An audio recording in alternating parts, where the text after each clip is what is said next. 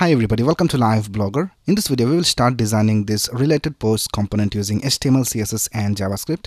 So here we can see we have these three posts and uh, we also have hover effects for them. And uh, this is also completely responsive. So if I decrease the width of the browser window, this is how it will look on a smartphone. So in this video, we will just design it using HTML and CSS. And in the next video, I'll show you how to get all the data from a JavaScript array. And then I will also show you how to add this to your Blogger website. So let's get started.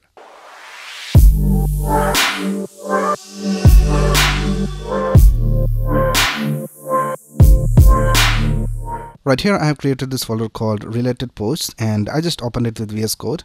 And here I also have a folder called images and in that we have these three images which we're going to use in our design. So let's go ahead and start by creating an HTML file. So I'll just click on new file and I'll just name it index.html and let's also create a css file. I'll just name it style.css and let's also create a javascript file. I'll just name it main.js Right, let's start with the index.html file. Now in vs code you can just press exclamation and press tab and you'll have this basic html5 code. Right let's link the css file over here. So i'll just type style.css over here in the href. And we'll also link the javascript file over here. So i'll just type script colon src and press tab. And here i'll just type main.js Right now let's start with the markup of our design. So the first thing we will do is we'll create a container division. So let's create a division with the class of related posts container. And in that the first thing we need to have is this heading. So let's create an h2 for that.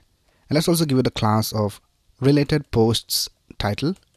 And let's type related posts. And now for these three blog posts, let's create a container division. So let's give it a class of related posts. Now for each of the posts, let's create a division with the class of related post. Now the first thing we need to have over here is the thumbnail. So let's create an anchor tag because we need to have a link for the thumbnail as well. So whenever someone clicks on the thumbnail, they should be taken to that post. So here you can add the link of the post. But now here in this anchor tag, let's create an img tag. And for the src, let's type images forward slash and I'll just select blog1.jpg. And now the next thing we need to have is this title. So for the title also we need to have an anchor tag. So let's create an anchor tag and uh, let's also give it a class. And let's set it to post title. And I'll just copy this title from here. And let's paste it over here. Right now let's go ahead and copy this division from here. And let's paste it two more times. So these are the two other posts. So for the second one, let's type blog2.jpg and here let's tab blog3.jpg and let's also change the title. So I just paste the title over here. And then for the third one let's copy this title from here. And let's paste it over here. Right now let's open this in our browser and let's see how it looks. So I have this extension called live server installed in VS Code. So once you install that you can just right click over here in the HTML and click on open with live server Right now here we can see all the elements in our design are displayed over here. Now let's go ahead and style it. So let's go to our style.css file. And the first thing we will do is we'll target the related posts container. So let's type dot related posts container.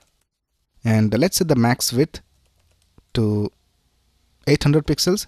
And let's also set the font family to Roboto and sans serif and we'll also bring it to the center so let's tap margin 0 for top and bottom and auto for left and right. Right now if we go back to our website we can see that the element is in the center but the width of the image is too much. So let's go ahead and change the width.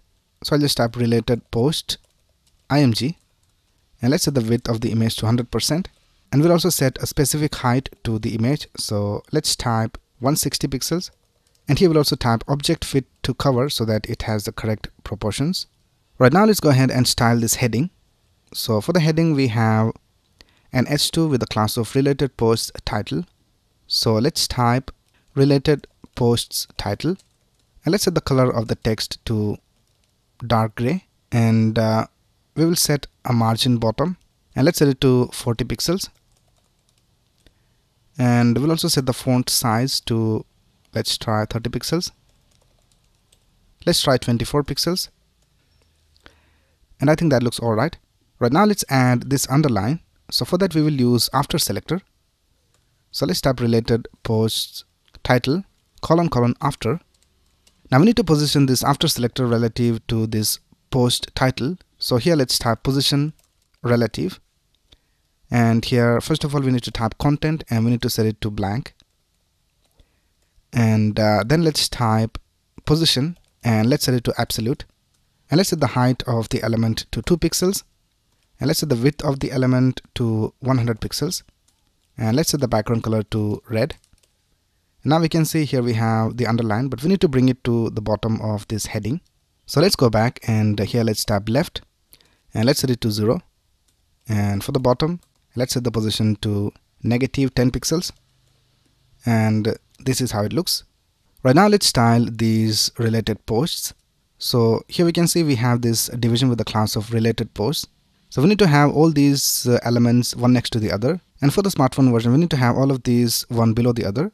So let's go ahead and type related posts and let's set the display to grid and we'll set the grid template columns to 1FR, 1FR, 1FR which means three columns with the same width and let's also give it a gap of 20 pixels and now if you go back here we can see we have these three posts one next to the other now let's also add a media query so here I'll just type at media and let's set the max width to 640 pixels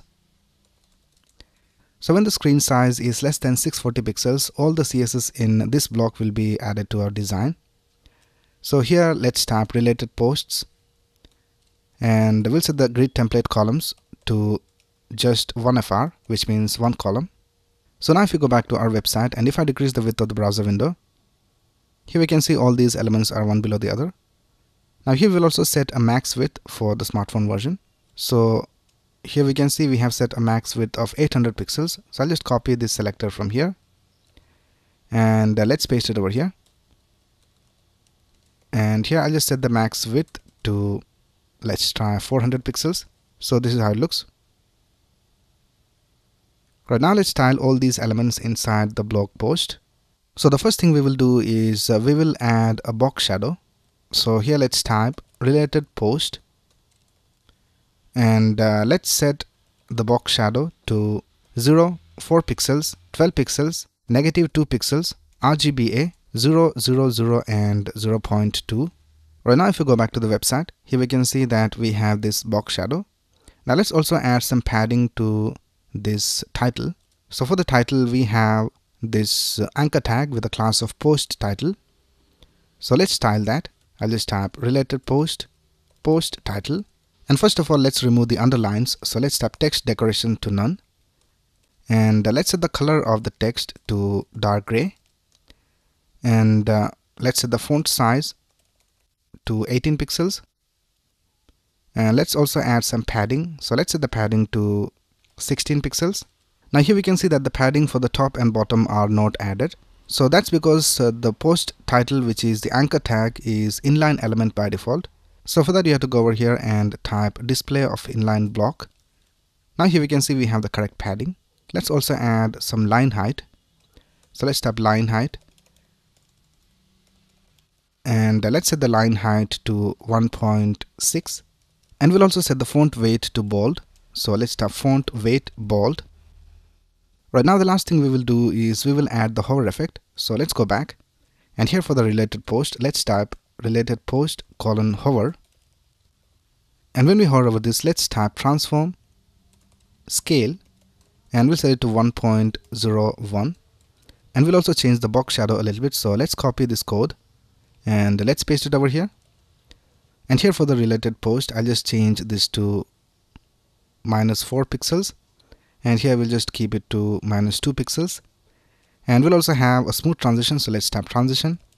And let's set it to all 500 milliseconds ease. And now let's go back. And now we can see that the hover effect is working all right. I think we can change it to 1.02 and now it looks all right so with that we have completed designing the related posts component in the next video I'll show you how to get all these details from a JavaScript array Alright, so that's basically it for this video. If you have any doubts, you can ask in the comments below. And if you like this video, please click on the like button and subscribe to this channel to get the latest video updates. Thanks a lot for watching. Have a nice day.